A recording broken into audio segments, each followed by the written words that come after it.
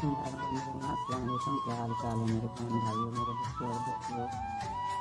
आज मैं आपके लेके लेके आई हूँ बैंगन का भुट्टा। ये देखिए ये मैंने सिर्फ़ इसको ऐसे सिल बट्टे पे पीसेंगे। ये दो अदद मैंने बैंगन लेके चूल्हे पे रखती हैं ताकि वो अच्छे तरीके से उनके ऊपर से जल्द सड़ जाए। और ये दो एक अदद मैंने प्याज लिया, बहुत ही बारीक चॉप कर लिया और ये टमाटर मैं आपके सामने काट रही हूँ। ये देखिए, इस तरह से काट के और बाकी जो बैंगन बन जाएँगे तो मैं उसको फिर बच्चे पे, हमारे पंजाबी में तो कहते हैं जी कूडी डंडा। उस पर मैं अच्छे तरीके से उसको पीस के तो ये मसाले उसमें मिक्स कर दूँगी वही।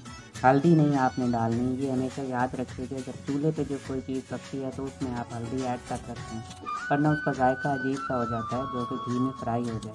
तो ये हम ऐसे ही ये उसमें बूंदी डंडे में बनाएँगे। तो ये बहुत ही ठंडा होता है, आजकल मौसम बहुत गर्म है तो दिल चाह रहा था कि ऐसे कोई ठंडी ठंडी चीज़ खाई जाए। तो ये देखिए, ये मैंने बहुत बारीक टमाटर काट लिए हैं और इसमें वही नमक, मिर्च और हरी मिर्चें, सब्ज़ धनिया, सब्ज़ पुदीना ज़रा ज़्यादा करके डालेंगे। तो क्योंकि वो उसका जायका हरा धनिया और हरे पुदीने का जायका बहुत अच्छा लगता है। उसमें जो कच्ची सब्ज़ी होती है, उसमें तो चलते हैं चूल्हे की तरफ़, दिखाती हूँ आप लोग बैंगन का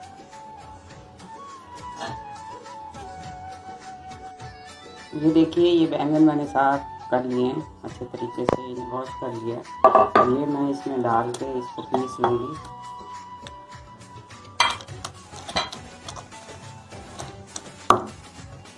कभी कभी गर्द मौसम में दिल चाहता है कि बंदे बॉयल के बगैर कोई चीज़ खानी चाहिए। इसलिए मेरा दिल काफ़ी कर रहा था कि मैं ये बनाऊँ। कि देखिए, बहुत ही अच्छी खुशबू आ रही है और बहुत ही नरम तरीके से ये सारा गल भी किया है और बहुत अच्छे इसमें आपको जितना चाहिए? नमक मिर्च उसके हिसाब से आप अपने जायके के हिसाब से आप डाल सकते हैं। देखिए, मैं इसमें थोड़ा सा नमक ऐड करूँगी। और थोड़ी सी लाल मिर्चें।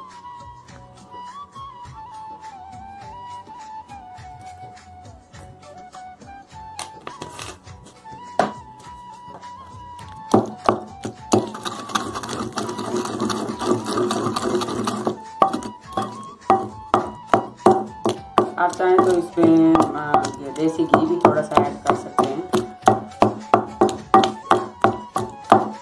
या मक्खन। वो दोपहर को बहुत अच्छा लगता है आलू की रोटी के साथ।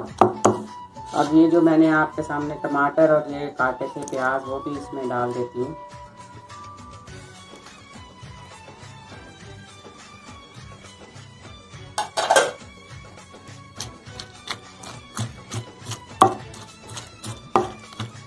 ऐसे हल्के हाथ से ही आपने इसको कूटना है। ये देखिए ये इस तरीके से। अब इस, इस इसके बाद ये मैं हल करके तो इसमें हरा धनिया हरी मिर्ची और पुदीना डालूँगी।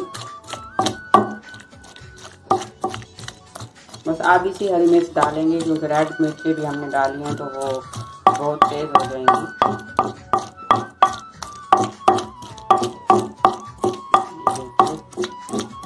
गरम गरम है, इस दौरान आप इसमें मक्खन या, और जैसी घी भी ऐड कर सकते हैं।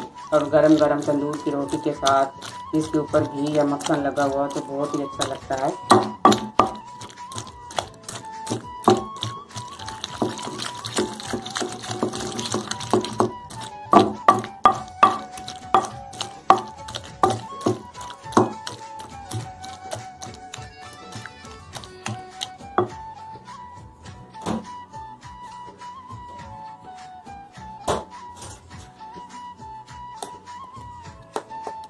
ये देखिए, मेरे पास हरी मिर्चें, पुदीना और धनिया मैंने पीस के रखा हुआ है, ये मैं इसमें एक चम्मच ऐड कर दूँगी।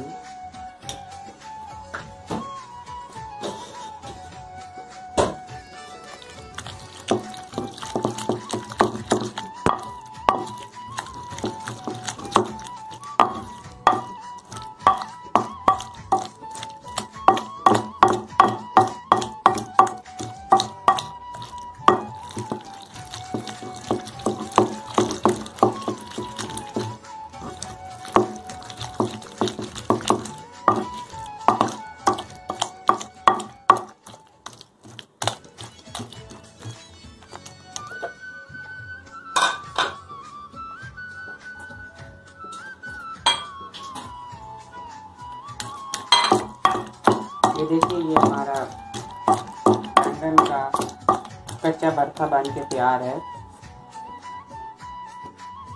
तो ये देखिए ये मेरा बैंगन का भरथा कच्चा भरथा बन के तैयार है। हम्म, यकीनन आपको पसंद आएगा। कमेंट्स में मुझे ज़रूर बताइएगा कि ये मेरी आज की रेसिपी आपको कैसी लगी। इसको तंदूर की रोटी के साथ खाएँगे तो बहुत ही अच्छा लगेगा। आप इसको तंदूर की रोटी और लस्सी के साथ भी खाएँगे।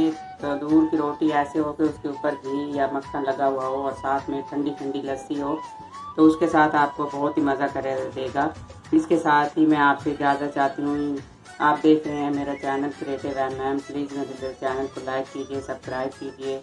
इसके और कमेंट्स करके मुझे ज़रूर बताइएगा कि मेरी ये रेसिपी आपको कैसी लगी।